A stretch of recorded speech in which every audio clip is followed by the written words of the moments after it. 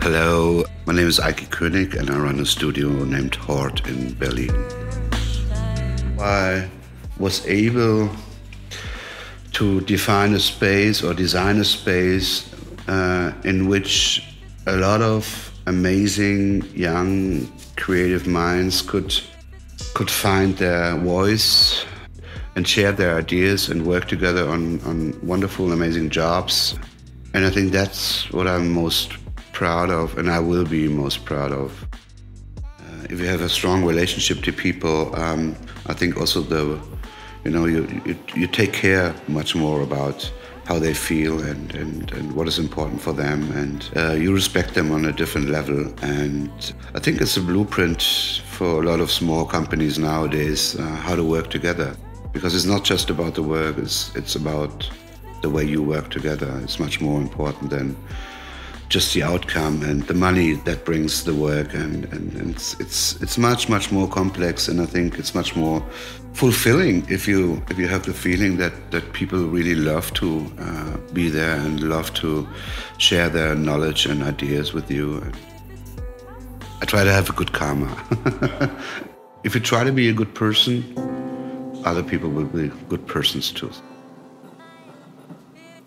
leading always got into has this bad tone uh, in a way. Uh, I think someone who's who's respectful and open or has an empathy for people and is able to understand the situation of the people and is uh, willing to put energy in, in supporting these people uh, and helping them to develop that's very positive i think and, and uh, in this case i i accept to be someone who leads a team.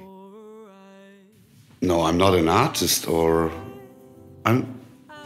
I think much more relevant is the way I, am thinking. There's a generation of artists, designers, fashion designers, um, musicians, and writers. Uh, they don't care anymore about um, how how to name your your profession.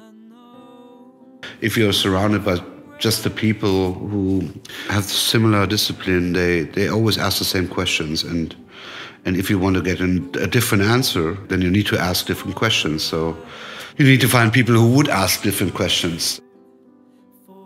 We shouldn't take us so serious, you know, like we, there's a much bigger picture and, and, and, and a graphic designer or a product designer. I mean, yeah, it's an amazing job and, but we're not really changing the world. It's, um, or most of us don't do that. Um, but maybe we can do that in, in, a, in a small way, in a micro way, the way we, you know, we are, like how we work together. That influences a lot, and I think that's maybe also changes the world a little bit.